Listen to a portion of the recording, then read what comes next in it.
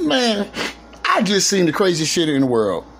And I'm just fucking around on the goddamn internet, sitting here next to baby girl. You know what I'm saying? Just chilling, ain't doing nothing. Trying to mind my business. Not really, but just looking on Facebook, just, just checking around. I see this goddamn app where this dude, they painting on him, I guess, some thing, and it gave him abs and chest and tattoos and all that. I just want to say this. Please, motherfuckers, don't think I do that. Uh, I got a gym and I eat right and try to work out as much as I can. So please, out there, if you ain't got it, don't flaunt it. It ain't for you. Listen, everybody call certain people uh, you arrogant or conceited.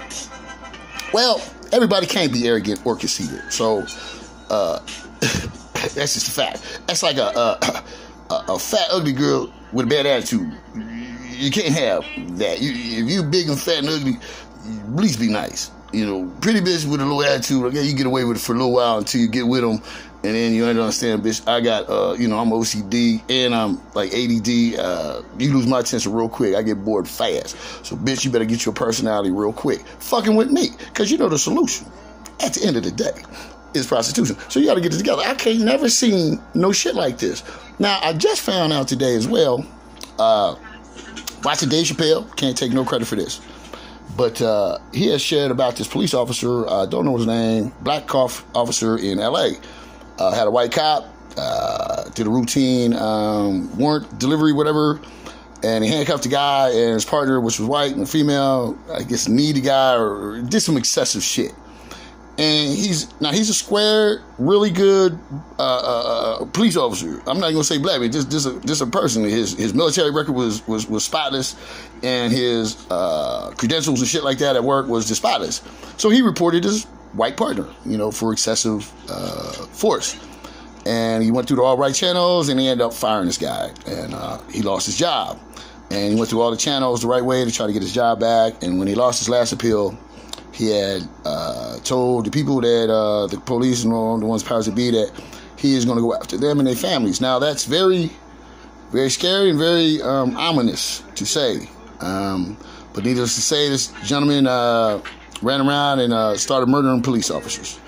I think he killed two, three of them, maybe four. And they tracked him down uh, to Big Bear Mountain in California. He was hiding in a cabin. 400 police showed up. 400. I didn't stutter. 400 police showed up and they turned this man into Swiss cheese. You know, they shot this motherfucker more holes than a little bit. Now, why did they show up 400 deep?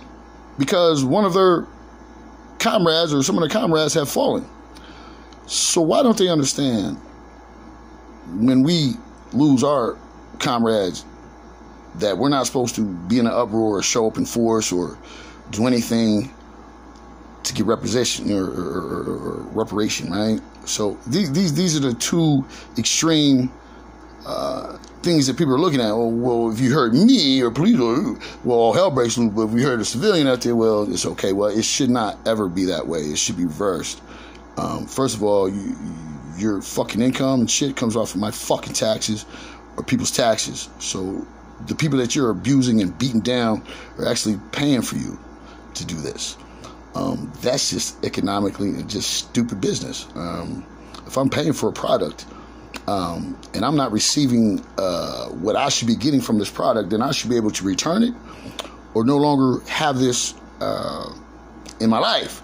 But see, we don't have that choice. But I see Minnesota, uh, Minneapolis is starting to go down that road of fuck the police, for real. We don't need you motherfuckers. If you don't do all that, we can police ourselves. We know what's right and wrong. Like back in the day, when I fucking broke a window or did some bullshit down the street, the news beat me home. I probably got my ass whooped twice before I even see my mom before she whooped me. It was neighborhood watch. It was it was each one teach one. It was takes a village to, to raise us, and, and and we lost that because you know the police is in there. You know you know like I said, they don't have serve and protect on a on, on their cars. I remember uh, Jeff Mayo. Jeff Mayo is a good friend of mine. His dad was one of the top cops in, in K Town. And we'd be at barbecue, smoking weed, drinking, you know, fucking moonshine and shit. And he would sit down at the barbecue, eat with us, wouldn't trip on us. You know, we, we was respectful. You know, we wouldn't have